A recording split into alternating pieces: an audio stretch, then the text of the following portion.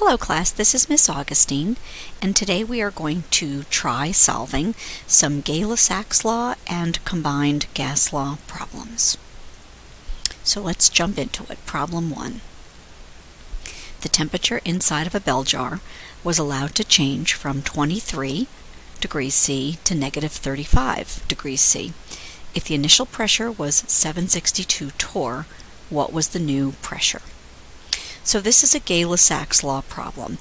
Volume is constant and temperature is changing and we're going to see what happens to pressure. So identifying variables. P1, T1 is 23 degrees C, so plus 273, that's 296.0 Kelvin. P2 is what we're solving for. Our T2 was negative 35.0, so plus 273 comes to 238.0. Recall that the gas law can be written as P1 over T1 equals P2 over T2, so by cross multiplying we get P1 T2 equals P2 T1. Solving for P2, it's equal to P1 T2 over T1. Remember that because we have so many variables, it's important to identify them to make sure that you're putting them in the right location because you really have a 50-50 chance at getting them in the wrong spot. So now we know what P2 is, so we can solve. So P2 is our P1, 762 torr, times our T2, which is 238, divided by our T1, which was 296. Now we need to cancel units. Kelvin cancels out. And when we plug this into our calculator, 762 times 238 divided by 296, we get 612.689. Looking up here, we had three sig figs, three sig figs, and three sig figs. We need to round to three sig figs. Our third significant digit is the 2.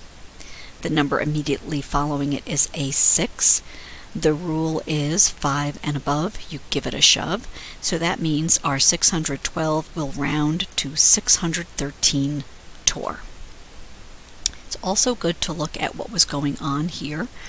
Our temperature decreased, and in uh, Gay-Lussac's law, there's a direct relationship between pressure and temperature. If the temperature went down, the pressure should have gone down. It went from 762 to 613. It did go down, so we solved it correctly. And that's a way you can check yourself. If your pressure did not go down in this case, then you would go back and look and see if you plugged things in incorrectly up here, if you confused your T1 with your T2. So now let's do problem 2. Problem 2, a balloon with initial conditions of 52 degrees C 6.3 atmospheres and a volume of 26.7 liters. What would the volume be of this balloon at standard temperature and pressure? So now notice we've got temperature, pressure, and volume. That means that this is a combined gas law problem. So now let's identify the variables. So our P1 is 6.3, our V1 is 26.7, our T1 is 52 degrees C plus 273 is 325.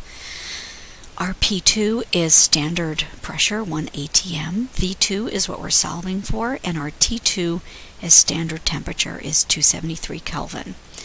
So you'll recall that the combined gas law is P1 V1 over T1 equals P2 V2 over T2, and by cross multiplying you can get P1 V1 T2 equals P2 V2 T1.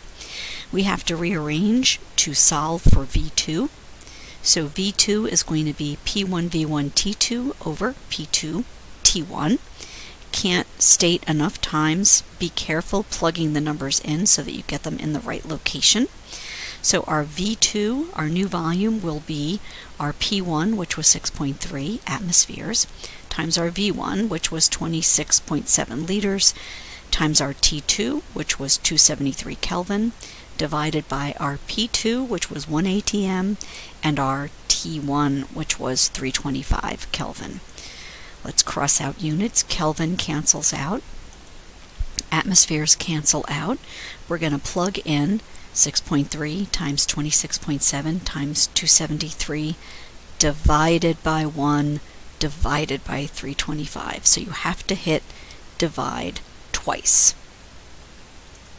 That comes out to, on my calculator, 141.29 liters.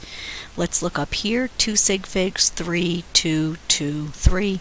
So we're going to round to two significant figures. Our second significant digit should be the 4. The number immediately following it is a 1 uh, 4 and below, you let it go. So our answer will be 140 liters. So this is Ms. Agostine. I hope these help you. This is Miss Agostine signing off.